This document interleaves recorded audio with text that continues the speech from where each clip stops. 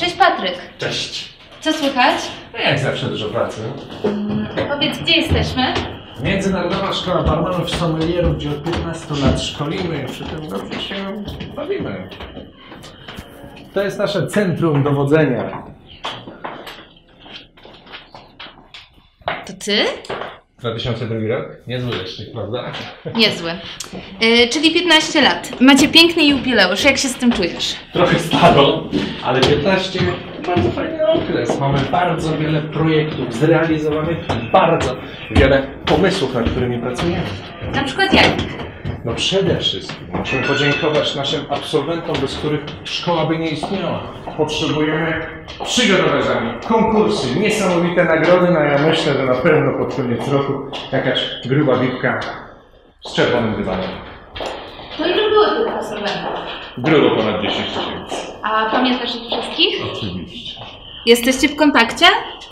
Y, większością tak, zresztą wystarczy wejść do dowolnego lokalu, żeby przybić piątkę z jednym z naszych absolwentów. A jak wyglądały pierwsze szkolenia? No, pierwsze szkolenia były dość sztywne. Pracowałem pod krawatem, w garniturze. No ale potem trzeba było założyć trampki, iść pod rotundę i rozdawać ulotki. Tak naprawdę musieliśmy wyważać drzwi, tłumaczyć ludziom, o co w tym wszystkim chodzi, po co są szkolenia. Było to naprawdę bardzo nowatorskie.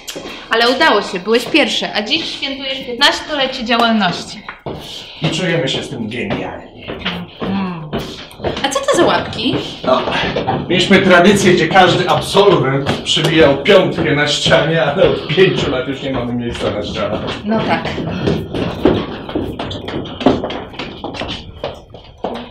Ale macie tu fantastycznie. Wiem, ale nie możesz tu zamieszkać. Ale tak naprawdę staramy się stworzyć jak najlepsze warunki do tego, żeby wiedza była dobrze przyswajana. Czyli to taka biblioteka? No, ale to dla czytelników z mocną głową. Mm, Wyobrażam sobie. A imprezujecie tutaj?